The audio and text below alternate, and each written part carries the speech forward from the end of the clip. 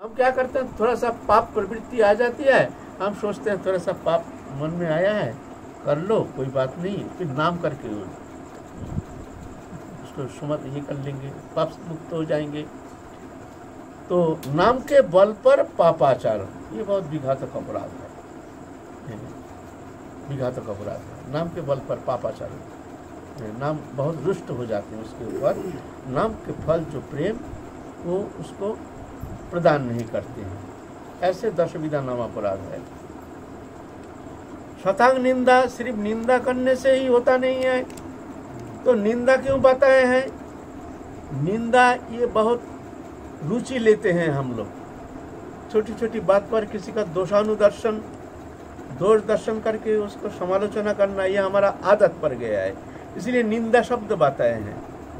वास्तव में सिर्फ़ निंदा से ही अपराध होता नहीं अपराध तो छह प्रकार होता है।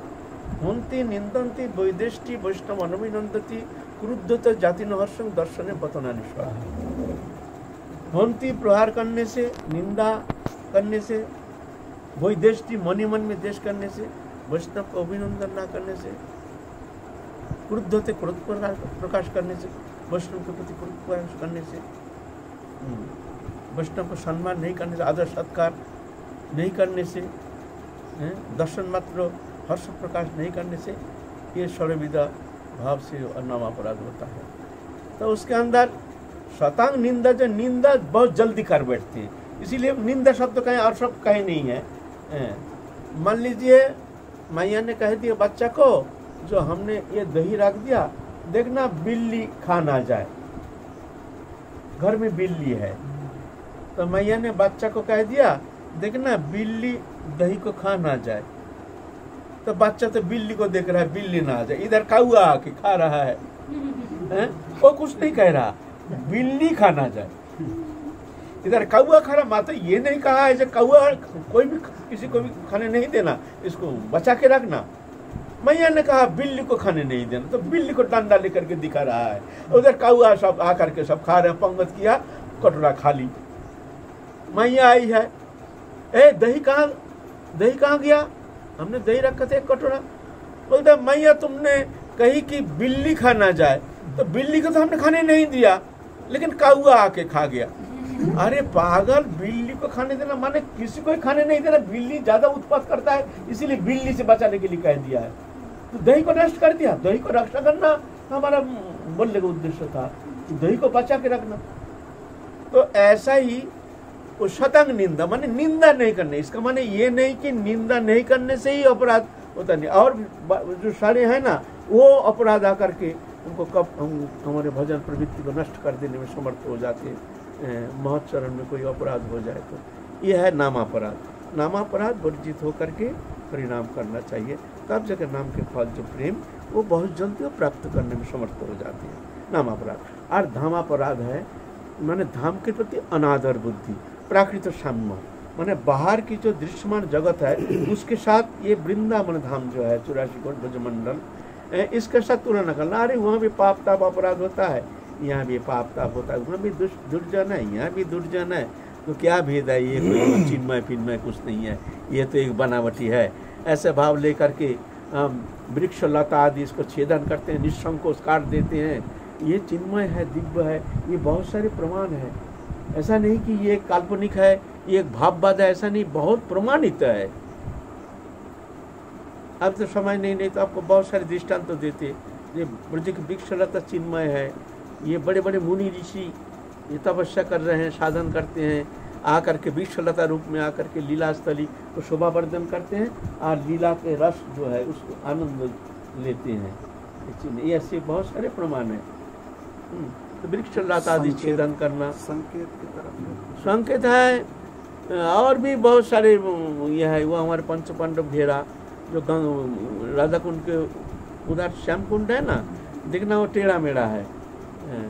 जब वो कोई सेठ करके उसको जब दास गोस्वामी वहाँ भजन करते थे दास गोस्वामी के मन में आया जे राधा कुंड तो ऐसे कच्चा है उसमें पक्का नहीं था।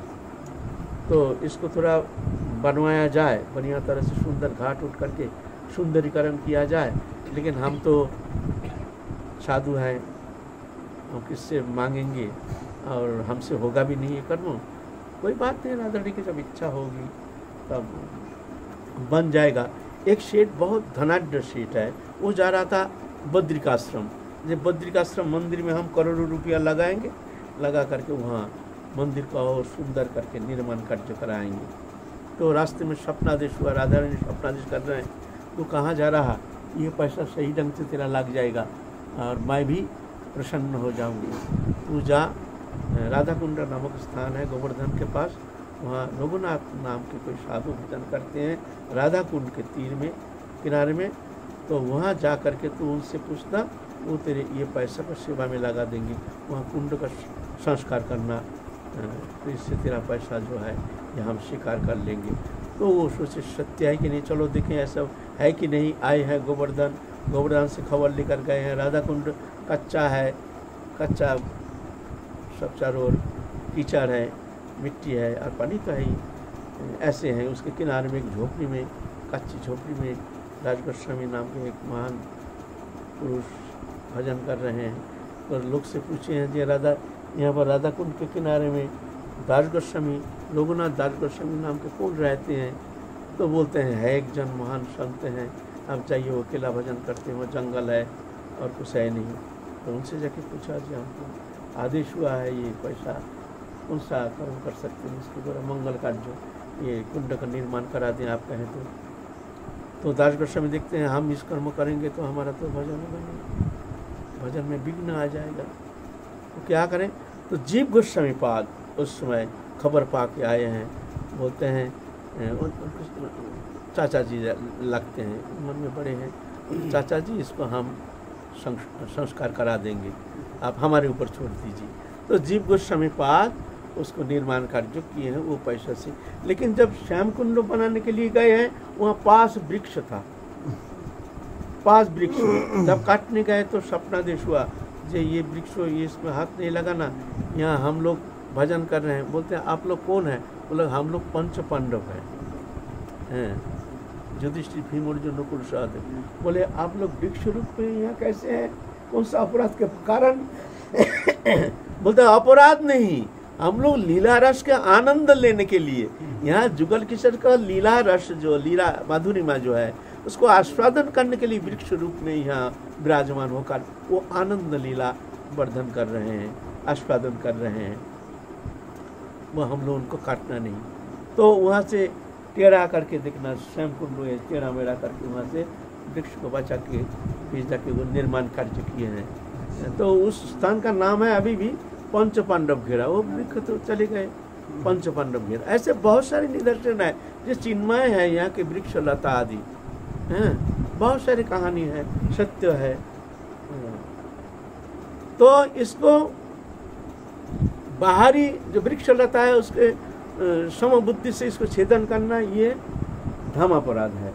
ये रस को साधारण समझना ये धम अपराध है। ब्रजवासी को साधारण समझना ये ब्रजवासी बहुत सुकृतिलभ्य पूर्व जन्म के कृतकर्म पुंजीभूत सुकृतिलभ्य कृतकर्म ले करके आए हैं तब जाके ब्रज में ब्रजवासी बनकर आए हैं। ये साधारण तो नहीं भगवान के प्रियजन हैं। जो इनका जो व्यवहार देखते हैं, बोलते हैं, ये देखना नहीं, ये तो नाटक है, ये मायामय है। ये देखना नहीं। समझना, मैं दिबांध पेचक हूँ। पेचक माने उल्लू। उल्लू दिन में दिखता नहीं है। तो समझना, ऐसे ही हम दिबांध पेचक, जो हम इनके गुण को नहीं देखते हैं, इनको दोष को देखते हैं, जान करके अपने को धिक कर देना और इनके प्रति आदर बुद्धि लेकर ब्रज में वास करना ऐसे भावना लेकर के ब्रज में रहने से तो धमापराध से मुक्त हो जाता है। लेकिन धम के प्रति अनादर प्राकृतिक बुद्धि इसके प्रति नाना प्रकार असद आचरण ब्रजभाषी के प्रति अन्याय आचरण ये धमापराध है। तो धमापराध नामापराध वर्जित होकर के जब हम भजन करते हैं ब्रज में वास करते हैं तो ब्रज वास का जो फल प्रेम है वो बहुत जल्दी प्राप्त करने में समर्थ हो जाते हैं। ऐसे हमारे शास्त्र हमारे आचार्य महानुभाव ऐसे कहते हैं। है नहीं बाबा?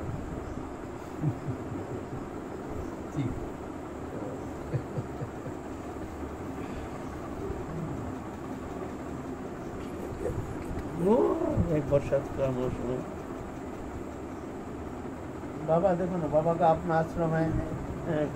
काशी में रहते हैं इनका आश्रम है बड़ा आश्रम है और सब भक्त और शिष्य मंडली सारा भारत में बहुत सारे हैं, हैं, हैं। सब छोड़ छाड़ के यहाँ आके देखिए कितना कष्ट में रहते हैं एक थोड़ा सा झोपड़ी जैसे वहाँ। हैं, किस कोई जानते भी नहीं है बाबा कहाँ है। बाबा आके ब्रजवास कर रहे हैं। और तत्सहित आनुषंगिक रूप में हमको कृपा करने के लिए उद्धार करने के लिए आए हैं। महीनों महीनों यहीं पड़े रहे। महीनों महीनों यहीं पड़े महीनों महीनों बाबा चुपचाप यहाँ पड़े रहे। और कोई व्यवस्था भी नहीं है ना कोई तो। व्यवस्था नहीं। गर्म में ऐसे ही। बरसात में भीजते हैं गर्मी में तापते हैं।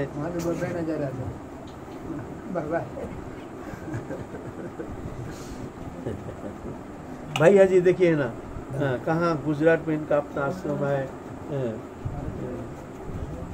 ताप्ती नदी ना वहाँ किनारे में गए थे ताप्ती नदी। हाँ? ताप्ती नदी। के किनारे में इनका बड़ा सुंदर मनोरम जगह। हम देख के आए हैं। एकांत कोई नहीं। और बाबा तेईस घंटा भजन करते थे वहाँ एकांत अकेला रहकर वहाँ भी भजन कर रहे ऐसा ही। हाँ। लेकिन ब्रजवास ये आशा लेकर के सब छोड़ छाड़ के आए हैं। यहाँ भी एक तो थोड़ा सा छोटा मोटा कुछ बना लिया। हाँ, ब्रजवास करने का आकांक्षा लेकर के आए हैं। तत्सहित हमको भी थोड़ा सा हम लोग को भी कृपा करने के लिए आए हैं।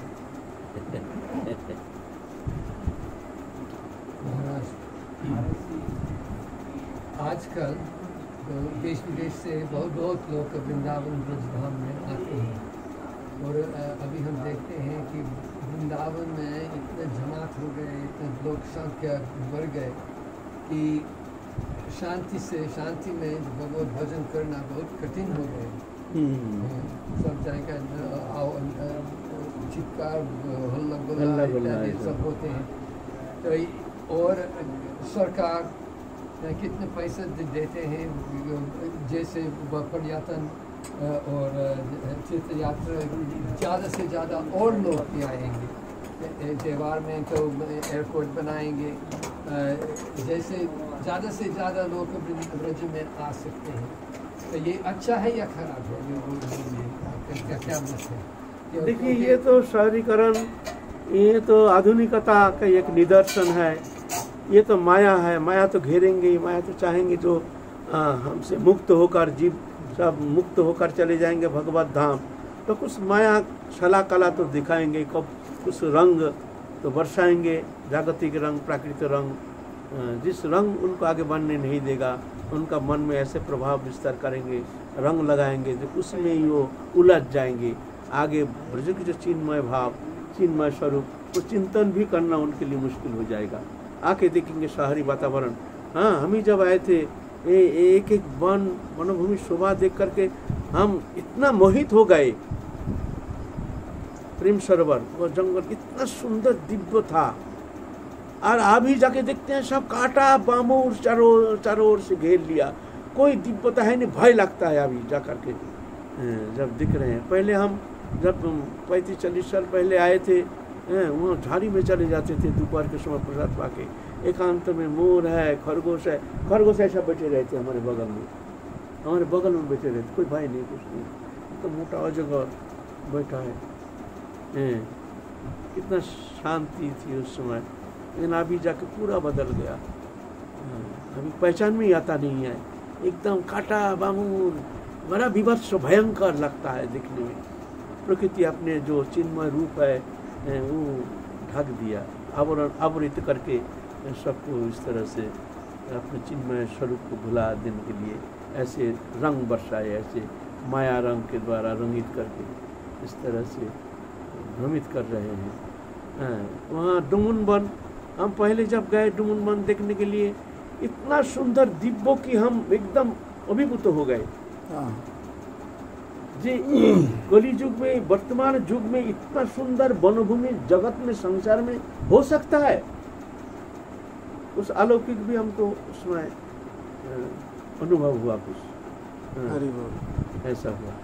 डुमन वन में हाँ? डुमन वन हम प्रेम हाँ। सबर रहे थे। तो हम बीच बीच में ही जाते थे डुमन वन में। अकेला जा करके वो कुंडा एक तो सुंदर कुंडा है।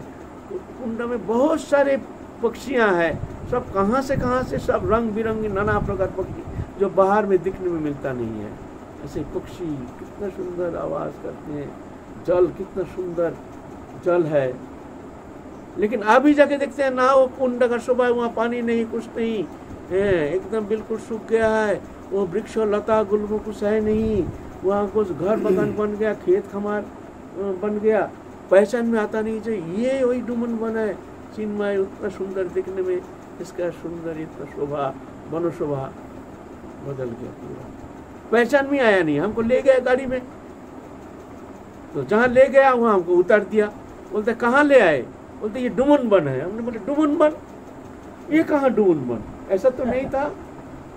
वो कितना सुंदर झाड़ी गुलमो, लता हरियाली, घास, कितना सुंदर। कुछ नहीं है। ऐसा। तो प्रकृति भी धीरे धीरे धीरे धीरे अपने माया जगत में इस तरह से प्रभावित करके सबको भुलाने के लिए जिससे वो चिन्मय स्वरूप भूल जाए, उसको चिंतन भी कर नहीं पाए इस तरह से माया फैला रहे हैं। जुग प्रभाव। अभी वो वन है नहीं। पहले वन शोभा पहले जमुना किनार से मथुरा तक वनभूमि था। सिर्फ़ वनभूमि। जंगल जंगल जंगल जंगल जंगल जंगल। अभी चारों ओर शहर बन गया है। हम्म। एक बार एक जंगल में हम खो गया था, बहुत साल पहले, पैंतीस साल पहले, चालीस साल होगा। जंगल में गए थे रात में। क्या आ गया एक साधु थे संग में? कहते हैं, एक साधु रहते हैं जंगल में, जमुना किनार। चले हम लोग वहाँ जाके सत्संग करेंगे, उनको दर्शन करेंगे। तो रात में निकल गए, निकल करके जंगल में खो गए और दिशा भूल गए। जा रहे हैं इधर उधर, कहीं रास्ता घाट कुछ दिखते नहीं है, जंगल जंगल जंगल जंगल फिर लौटना भारी पड़ गया। बड़े कष्ट से लौटे जब तो सुबह हो गया। साढ़े तीन, चार बज गया संध्या को गए, सारे रात जंगल में भटकते रहे। ना साधु मिला, ना कोई साधु का स्थान मिला, जंगल जंगल ऐसा। और अभी देखिए, वहाँ सब शहर बन गया है। शहर बन है। एक जुगो प्रभाव है। का कली युग लीला। इसको उस चिन्मय स्वरूप को ढाक करके मायामय, देखने में मायामय आवरण करके रखे हैं जैसे वो पहचान ना पाए। दिव्य स्वरूप को चिंतन वो करने में समर्थ हो जाए। माया फैला रहे।